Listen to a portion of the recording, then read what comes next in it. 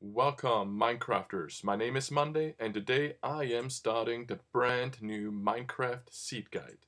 This is our first episode and because of that I have chosen seed number 1.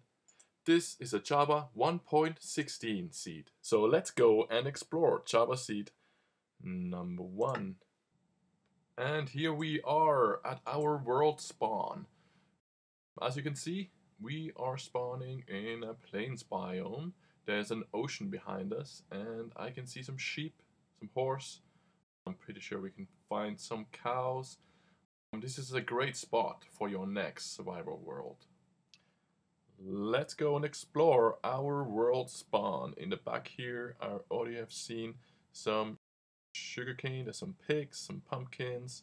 Um, if we go past this lava lake, in this bay back here, we can find a shipwreck. And I will ensure that all the coordinates are in the description below. And if we are heading west, past the shipwreck, we're going to end up at this ruined portal. And if you're heading east of the world spawn point, our world spawn point is right behind this hill here, uh, we'll end up at this outpost here. And if we continue even further east past the hills and the forest here, uh, we'll end up at another ruined portal. If you continue even further east into the jungle, you'll find a jungle temple.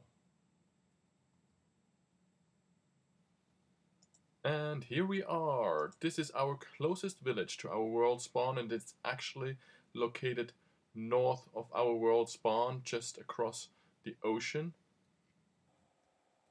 There are two more taiga villages located just southwest of our world spawn.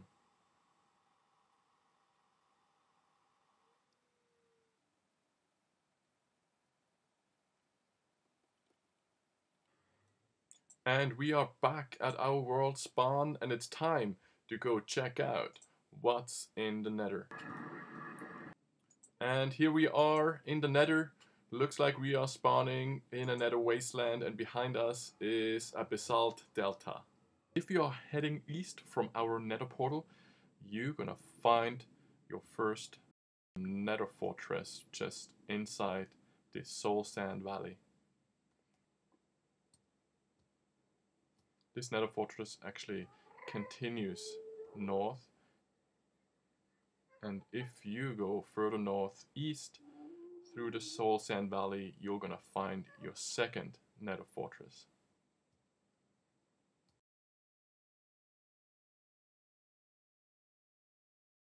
And if you continue east from your second nether fortress, you're gonna find this bastion here.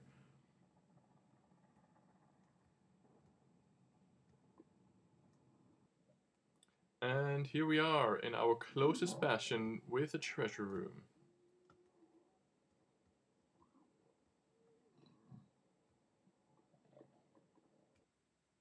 And here we are, back home, safe and sound at our world spawn. And now, and now it's time to go find our closest stronghold. But you know what?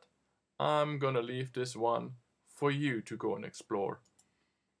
This was seed number one. I hope you enjoyed it.